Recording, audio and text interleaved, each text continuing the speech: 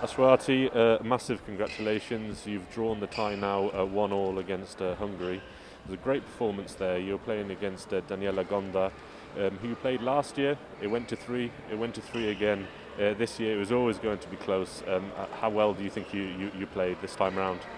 To be quite honest, I'm not very happy with my performance. It was very yeah, I was quite nervous. I couldn't control myself in the first game, and I was completely playing uh, against my game plan. So, but I'm happy I could still uh, turn it around uh, when I'm not having the best day. You, did turn it around. Uh, you, you forced a deciding game, and then it was quite close at the beginning of that deciding game. But then you just uh, shot away uh, after the interval. What did you change? It was it was a totally different uh, performance then on, and then you, you won quite comfortably.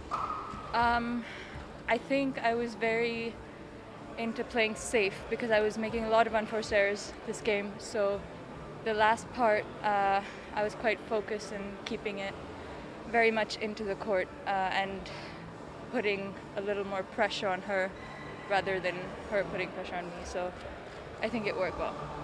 How do you see the tie now? Uh, the, the, Hungarians, they said that the singles are, are always going to be an important, uh, uh, important few matches for them. Uh, you've levelled it now at one all. You're quite strong in the doubles. How do you see the rest of the tie going? Uh, I very much believe in the Swedish team. Uh, we have quite strong women's doubles, men's doubles, and mixed doubles. So Uh, if all goes well, I hope Sweden wins, and I really believe that we will. Yeah. Brilliant. Thank you very much, and well done. Thank you.